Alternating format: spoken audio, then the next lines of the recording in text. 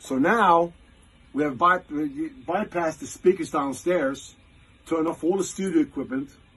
So basically, it's the guitar into the amp uh, up there, into this, into my board. Okay, and this is turn it up a little bit here. If you can hear it has all the bits.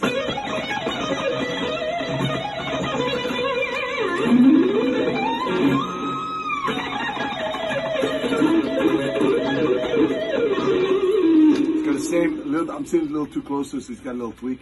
It's got the same sustain. It's got the same tone, exactly the same sound, and those little effects I'm gonna need.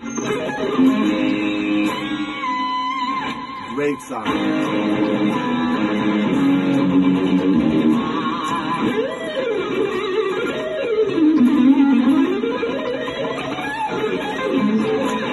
Fantastic, guys. Fantastic.